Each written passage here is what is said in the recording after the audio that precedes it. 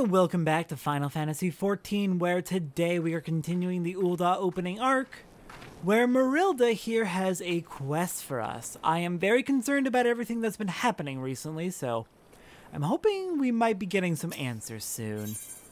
Marilda may have stumbled upon a secret. You are an adventurer, are you not? I know this is sudden, but I have no one else to turn to. Last night, a gang of bandits from the Quiveron Manse were in their cups, and I overheard them discussing their plans. It seemed they've come to collect gemstone stolen from Copperbell Mines. Nashachite, I think I heard one say.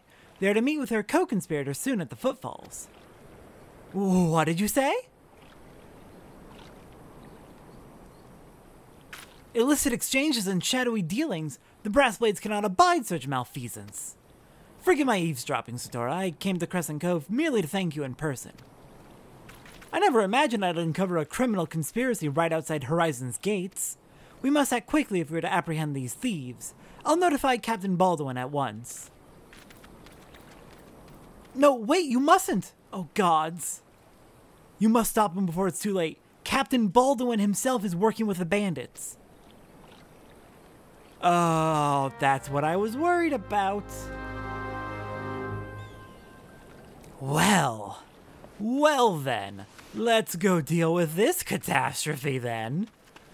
Oh, no, no, no, no, no, no. You have got to get back here, Fufulupa. This is not good.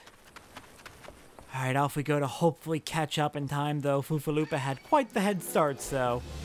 Let's hope those short legs give us enough time to catch up. Oh, and here we go. We've got a fight.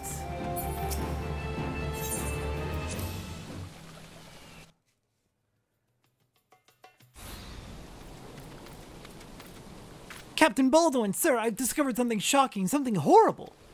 Someone has been stealing gemstones from Copperbell Mines, then. Wait, those gauntlets, those boots. Why, you're one of Quiveron's men. Sir, that man is a thief and a scoundrel. And what of it? His coin's good, and that's what counts. But, but, Captain Baldwin, are you working with these men? It cannot be. I told you to stay in Horizon, Fufulupa. It didn't have to be like this. They'd get their Nashachite, I'd get my gill, and none would be the wiser. B but, sir, what if your crimes are uncovered? What if Lord Lolorito finds out? You goddamn fool, don't you see? I'm acting under the authority of Lord Lolorito himself. No, no, that can't be true. Why do you think people join the Brass Blades Fufulupa to serve and protect? Ha!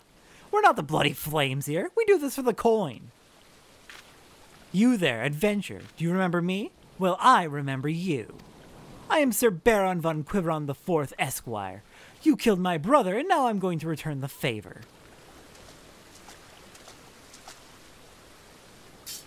Well, that settles it. It's clearly in everyone's best interest that both of you die.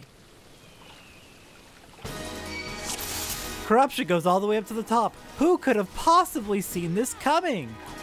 Alright, we've got another one of these dang Quiveron Barons. And we've got Baldwin Foryalms. Thankfully, they do not seem too difficult at all so far.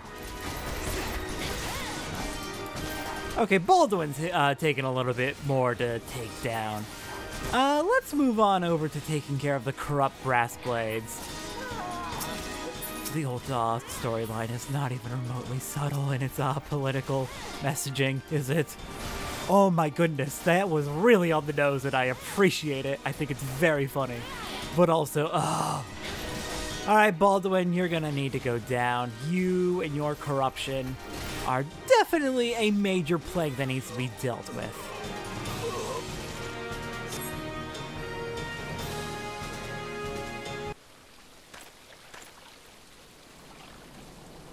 That's enough, Baldwin.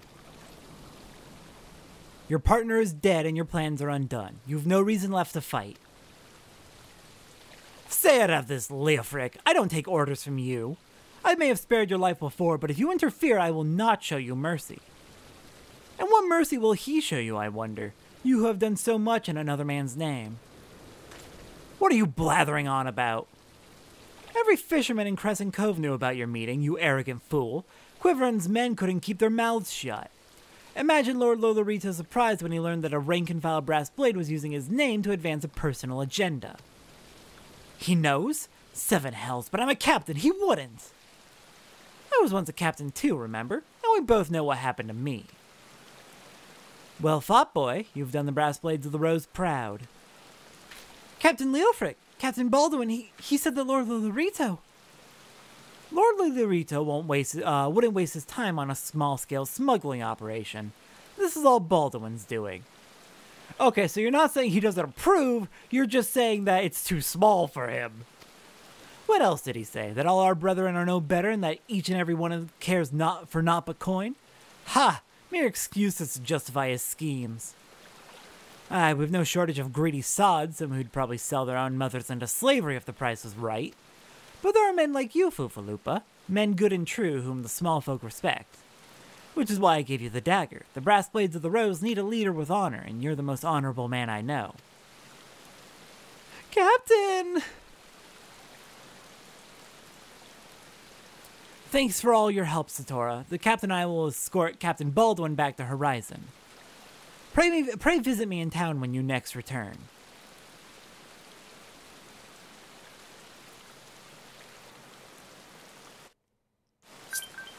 Well, that's one corrupt bastard out of the way at least, so that's a relief. Okay, let's get back to Horizon. Not the longest walk, so I'll save my teleport even if it is free. So that's also probably why they only wanted a very small contingent of brass blades. They weren't just escorting the thaumaturges, they were also making sure that no one who actually cares would witness what was going on with the exchange.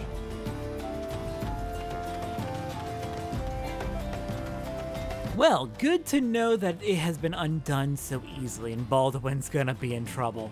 I hope. I'm not optimistic, but maybe. It does seem like he may in fact get some get some punishment for his crimes and his abuses of power. Hello there, Fufulupa! Welcome back, Satora. So much has happened. Captain M.